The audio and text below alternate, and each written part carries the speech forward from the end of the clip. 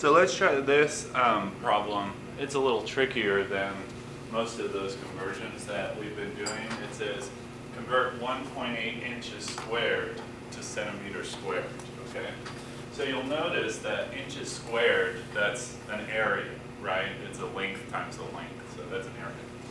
But anyway, so um, that area, what does it say, 1.8 inches squared. And you'll always get this um, conversion factor here, uh, one inch equals 2.54 centimeters. It's a good one to kind of keep in your head. But, um, and it wants it in centimeters squared, which is also an area, of course, right? So uh, the thing you want to make sure you do is remember that this isn't just inches, it's inches squared, okay? So when uh, you convert, you're going to have to uh, take that or cancel that inches out twice. Okay, so in order to do that, so we have this conversion factor, one inch, 2.54 centimeters. So when we do that, that doesn't cancel out both of them. It just cancels out one of them, right? So we're going to have to do it again.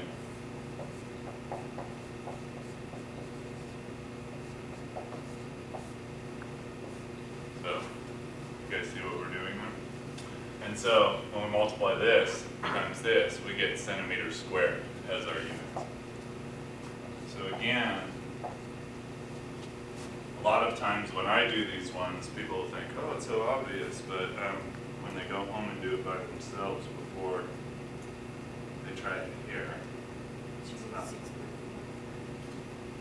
Mm-mm. I got eleven point, well, eleven point six, so we're gonna be twelve centimeters squared.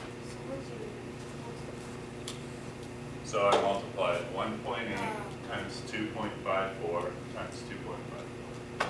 And that gets you, in this case, the calculator gave me eleven point six, and then that was gonna round up. But the units, of course, were centimeters times centimeters, giving you centimeters squared.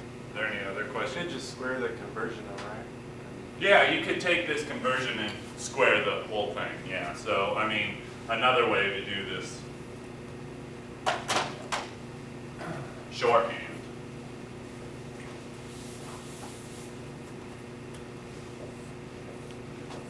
Would be to do something. Okay. Any other questions on that one? Questions, questions? Cool.